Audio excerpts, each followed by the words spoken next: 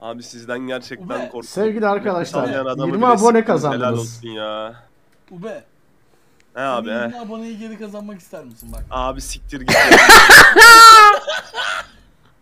Ya Ube sonsuza kadar kaybedemezsin bak 20 abonene. Gel geri kazanalım.